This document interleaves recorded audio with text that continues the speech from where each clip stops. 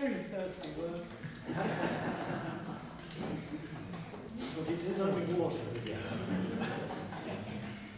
James Rae was born on Tyneside in 1957, and it was only natural that um, anything he wrote would be influenced by the songs of the area.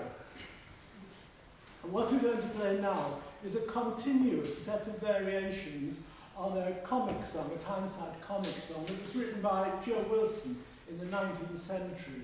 And the background to the song uh, refers to the workers in the northeast who used to work away from home for quite periods of time and they'd have lodgings at the place wherever they were working. And of course, to save money, they would very often double up, triple up, quadruple up in one bed, uh, you know, to, to save money. But there was one particular young man there. He'd left a very nice girl at home, and he was having a lovely dream, and he kept being woken up. So the words of the song goes, Keep your feet still, Geordie Hinny, let's be happy for the meek, for I may be so happy through the day.